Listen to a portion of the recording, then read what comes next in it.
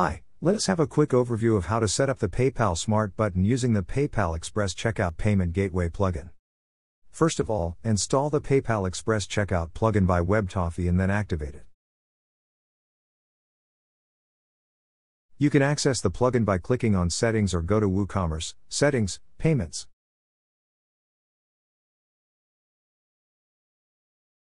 Enable the gateway and click on Setup.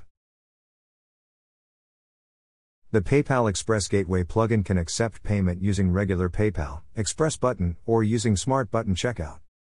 In this video, we will see how payments are accepted using the PayPal Smart button. To begin with, let's enable the Smart button from the settings window. Next, we will have to specify the PayPal credentials. To get the Smart buttons at the checkout, you will need to get PayPal client ID and secret. Let us see in detail how we can obtain these credentials. As a first step, you will need a PayPal business account. For that, let's navigate to the PayPal business account site and click on Sign Up and fill up the details as required. Since I have already created a business account, let's proceed by logging into it. From the window that opens up, go to Activity. Then choose API Access. Scroll down to REST API Integration and click on Manage REST API Apps and Credentials. REST API Apps window opens up, click on PayPal Developer Experience link. Now you will be taken to the developer dashboard. Now, click on the Create App button. The Create New App window opens up. Enter an app name in the field provided. Then, select an app type as merchant or platform that best suits your business. Finally, click on the Create App button. Now, you can see the Sandbox account along with the client ID. Click on Show to view the secret. Now that you have got the client ID and secret, copy and paste them into the respective fields of the plugin. Next, head on to the PayPal Smart button settings. You can choose to show the Smart button on the cart page, checkout page, or both. Input an appropriate description that will appear below the Smart button.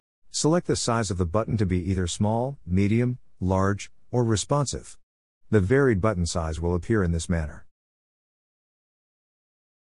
Some of the predefined button labels are PayPal, Checkout, Pay, and Buy Now. You can show or hide the tagline. However, it works only with the horizontal layout. The different button colors are gold, blue, silver, white, and black. Set the button shapes as rect or pill that best suits your site. The layout can be either vertical or horizontal.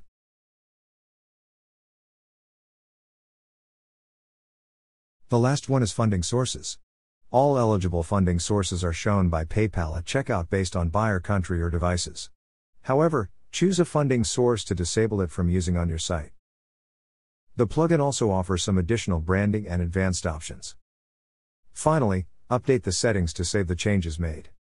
Let us have a look at how the local payment methods using PayPal Smart button appear based on country. This is how the Smart button will appear to customers from the United States, Germany, and the Netherlands. Please feel free to leave your queries in the comment box, We'll definitely get back to you at the earliest.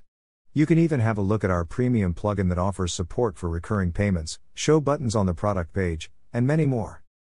The link to buy our premium version is given in the description box. If you like this video, make sure to subscribe for more. Thank you for watching.